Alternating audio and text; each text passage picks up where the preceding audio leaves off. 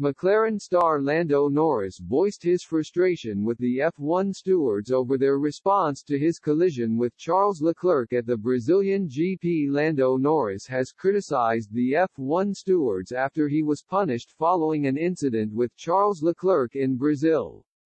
The McLaren driver collided with the 25-year-old while fighting for third place at the Interlagos circuit, shortly after the first safety car restart.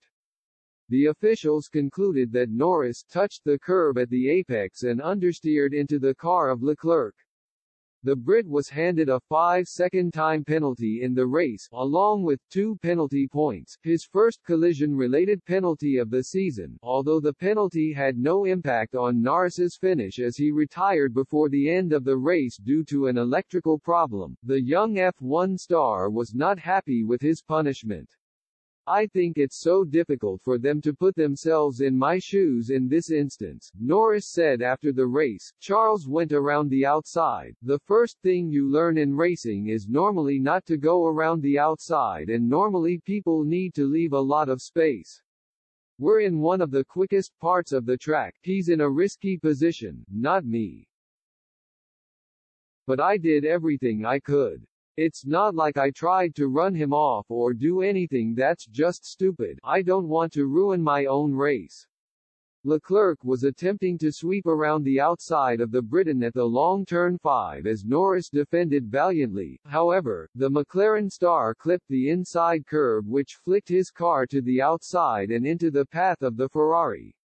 Norris's front left wheel slammed into the side of Leclerc's car which sent him into the tire barrier. Onboard footage shows Leclerc fighting the car as it spins around but he was unable to regain control. After the incident, Leclerc's race engineer asked the Monegasque if he was okay. But, a frustrated Leclerc simply replied, he is a D asterisk asterisk asterisk. Norris on the other hand, claimed Leclerc would have tried something similar if the roles were reversed. So if someone was in my shoes, if Charles was in my shoes, he would have done exactly the same. If any good driver was in my shoes they would have done exactly the same, he added. Do they just look at the incident from an outboard camera and say, he's caused the crash, or do they actually understand, have they done everything to avoid a crash, and so on.